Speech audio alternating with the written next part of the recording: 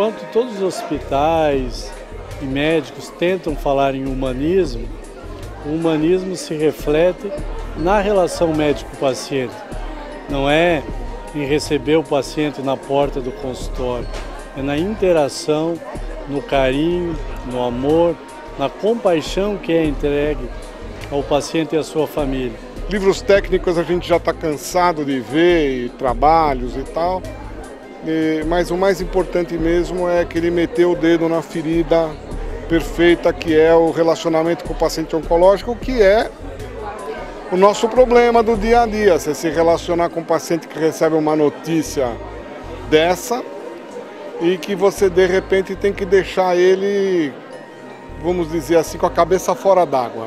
Ele tem uma, uma, um jeito muito especial de cuidar dos pacientes, de, de abordar os pacientes. Então, eu parabenizo o Ricardo e, lógico, todos aqueles que estão ao lado dele no lançamento desse livro e tenho certeza que vai ser muito importante para a comunidade médica e também, inclusive, para os próprios pacientes.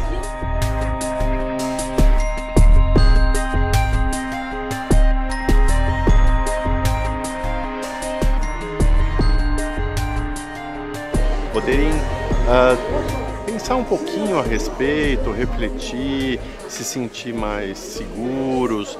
Isso tudo faz parte da, uh, dessa possibilidade que ele está oferecendo, que a gente sabe o quanto hum, nesses momentos especiais ela pode acompanhar as pessoas que precisam tanto de algo mais, né? E esse algo mais está uh, aí nesse conteúdo do livro. Eu, principalmente na oncologia, onde a gente acaba sendo médico do paciente, da família, e tem um envolvimento sempre grande. Uma grande qualidade também é que ele é extremamente humano, né?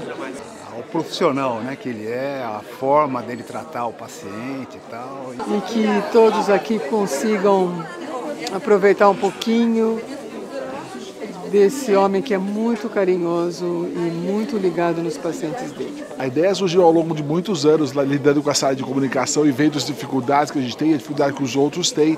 Então surgiu a ideia de compartilhar um pouco daquilo que a gente aprende ao longo de toda a jornada. Né? E hoje foi muito bom reunir tantos amigos aqui hoje, né? gente muito querida, que inspira grande parte desse livro e que a gente espera que seja de muita ajuda para outras pessoas que passam pela mesma situação, tanto pacientes quanto médicos, para lidar com essas dificuldades da comunicação.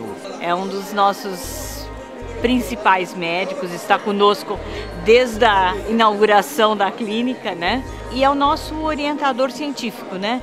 É ele quem coordena todos os eventos, é ele quem dá orientação na clínica do ponto de vista científico. Por isso da importância desse lançamento.